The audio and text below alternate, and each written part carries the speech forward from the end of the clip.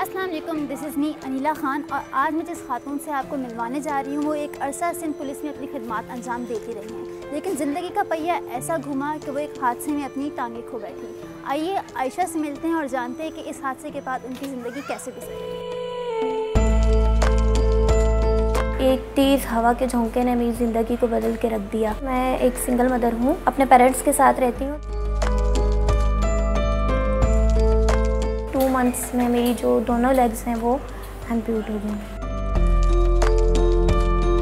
माशाल्लाह से मेरा जो बेटा है वो बहुत ज़्यादा स्ट्रॉन्ग है। मैं अक्सर इनसे क्वेश्चंस करती हूँ कि पहले वाली मामा अच्छी लगती हैं या अब वाली मामा अच्छी लगते हैं? तो ये उनसे कहते हैं कि मुझे अब वाली मामा ज़्यादा अच्छी लगती हैं।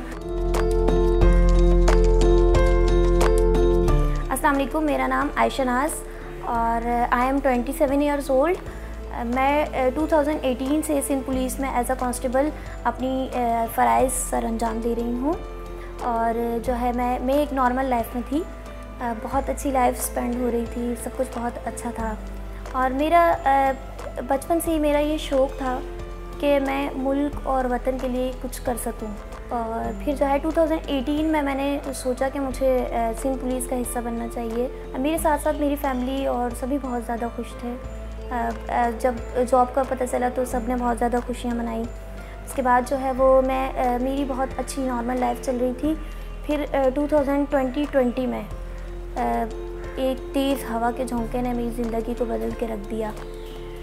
मैं अपने घर से अपने ड्यूटी पॉइंट पर जा रही थी। मैं बाइक पर थी और एक तेज़ रफ्तार वाटर टैंकर ने हिट किया बाइक को जिसके नतीजे में मैं गिरी और वाटर टैंकर के जो फ्रंट टायर्स हैं, वो मेरी दोनों लेग्स पर से गुजर गए, जिसके नतीजे में मेरी दोनों लेग्स जो हैं, वो बहुत क्रश हो गई बिल्कुल।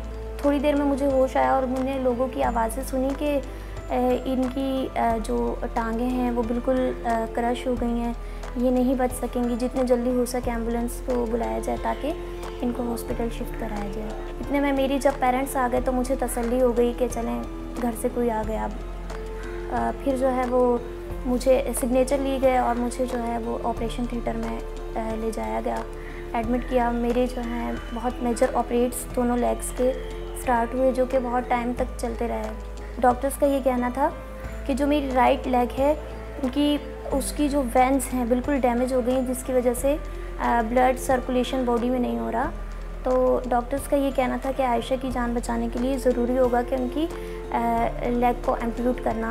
पड़ेगा तो उनका ये कहना था कि मेरी जो लेग की बोन है वो डेड हो चुकी है। जिसकी वजह से मेरी ये जो टांग है सो मतलब नहीं रख सकते। एम्पुटेशन करनी पड़ेगी। तो ये हुआ कि एक्सीडेंट के टू मंथ्स में मेरी जो दोनों लेग्स हैं, वो एम्प्यूट हो गई अच्छा और मैं यहाँ बताती चलूँ कि मैं एक सिंगल मदर हूँ। अपने पेरेंट्स के साथ रहती हूँ तो मुझसे ज़्यादा केयर मेरी अम्मी कर रही होती हैं इनकी। माशाल्लाह से मेरा जो बेटा है, वो बहुत ज़्यादा स्ट्रॉन्ग है। अब तो इतनी ज़्यादा उनको आदत हो चुकी है कि वो अपने काम खुद भी कर सकते हैं और बल्कि वो मुझे सपोर्ट कर रहे होते हैं, मेरे काम कर रहे होते हैं, मेरी देखभाल कर रहे होते हैं। और मैं अक्सर इनसे क्वेश्चन करती हूँ कि आपको पहले वाली मामा अच्छी लगती हैं या अब वाली मामा अच्छी लगते हैं? तो ये उनसे कहते हैं कि मुझे अब वाली मामा ज़्यादा अच्छी लगती हैं। मतलब कि इतने अच्छे हैं और इतने अच्छे से दिल रखते हैं। मैं क्या कोई भी इंसान कभी भी नहीं सोचता कि उन, उनके साथ क्या होने वाला है। मुझे जुनून था कि मैं किसी फोर्स का हिस्सा बनूं और वो सब कुछ हो गया और एकदम से फिर टूट जाए तो इंसान बिल्कुल बिखर जाता है ना टूट जाता है।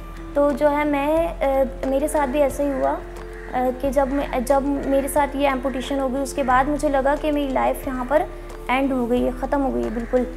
और जो है मैं, मैंने बहुत मतलब कि वो जो वो जो टाइम है, मेरे पास अल्फाज नहीं है कि मैं उस टाइम को कैसे बयान करूँ। फिर आहिस्ता आहिस्ता जब जो है मुझे पता चल गया कि अब टांगे नहीं हैं, अब ऐसे ही मुझे ज़िंदगी गुजारनी है, फिर आहिस्ता आहिस्ता ख़ुद को मोटिवेट किया मैंने। और जब मैंने फ़र्स्ट टाइम व्हील चेयर को देखा तो मैं बहुत ज़्यादा रोई थी। और मुझे ये था कि ये व्हील चेयर जो होती हैं, वो सिर्फ़ पेशेंट्स के लिए हैं या कोई एजड हो जाते हैं, जो बीमार होते हैं, उनके लिए होती हैं। तो मैं बिल्कुल यंग थी और व्हील को एक्सेप्ट करना मेरे लिए बहुत मुश्किल था। बहुत मुश्किल से मैंने व्हील को एक्सेप्ट किया और फिर अपनी लाइफ को मैंने आहिस्ता आहिस्ता मैनेज करना शुरू किया। फिर जो है मैंने सबसे पहले ये सोचा कि मुझे अपने आप को वेस्ट नहीं करना है। मैं चाहती थी कि मैं कुछ करूँ और मैंने जो है अपनी मैंने अपनी स्टडीज़ को फर्स्टली कंटिन्यू किया, क्योंकि मैंने पहले बैचलर किया हुआ था और अब जो है वो मैंने स्टडी कंटिन्यू रखी है तो मैंने मा, अब मास कॉम में एडमिशन लिया मैं मास्टर्स इन मास कॉम कर रही हूँ। फ़र्स्ट सेमेस्टर जो है वो अब कंप्लीट हो चुका है। ज़्यादातर जो है वो सोशल मीडिया देखती रहती थी। एक पेज है उस पर डिसेबल वेलफेयर एसोसिएशन के नाम से कोई इदारा है तो मैंने सोचा कि मुझे जाना चाहिए विज़िट करना चाहिए। मैं जब इस इदारे में पहुँची विज़िट किया तो मैंने यहाँ पर आकर देखा कि सब लोग अपना अपना काम कर रहे हैं और सब खुद खुद से सब व्हील चेयर पर अपनी चीज़ों का मैनेज कर रहे हैं, पढ़ रहे हैं तो मेरे अंदर भी कॉन्फिडेंस बिल्ड हुआ। जो यहाँ के ऑनर हैं डिसेबल वेलफेयर एसोसिएशन के जो ऑनर हैं जावेद रईस उन्होंने मेरी बहुत अच्छी काउंसलिंग की।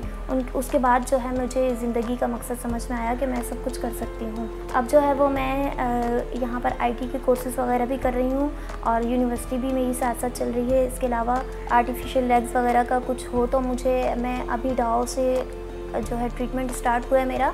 इन बहुत जल्दी जो है वो साइजिंग वगैरह हो जाएगी और उसके बाद इन इंशाल्लाह मुझे ऐसा लगता है कि मैं जो है वो अपने पैरों पे फिर से चल सकूँगी, ज़िंदगी को दोबारा से गुजार सकूँगी। अब जो मेरा एम है वो ये है कि मैं पर्सन विद डिसेबिलिटी जो वुमेन है ख़ास करके, जो घरों में आइसोलेट होती हैं, जो ये समझती हैं कि हम कुछ भी नहीं कर सकते तो मैं मैं उनके लिए काम करना चाहती हूँ। मैं चाहती हूँ कि एक मैं ही नहीं, मेरे जैसी और भी बहुत सारी ऐसी गर्ल्स होंगी जिनके साथ कोई डिसेबिलिटी होगी तो वो अपने घरों में आइसोलेट है। मैं चाहती हूँ कि वो घरों से निकले हैं। जिस तरह से नॉर्मल लोगों के स्कूल हैं कॉलेजेस हैं, वो अपनी स्टडीज़ कर सकते हैं, वो बाहर शॉपिंग कर सकते हैं, इतना एक्सेसिबल सब कुछ है।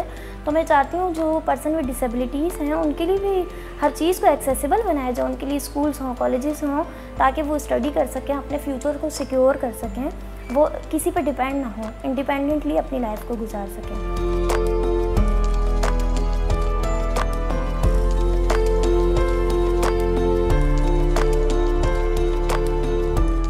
आयशा और आयशा जैसे दीगर लोगों के साथ हुए अचानक वाक़े से। शायर का सिर्फ़ एक ही शेर जहन में आता है कि आगा अपनी मौत से कोई बशर नहीं। सामान सौ बरस का है और पल की खबर नहीं। इसी के साथ मुझे, यानी अनिला खान को दीजिए इजाज़त। टेक केयर अल्लाह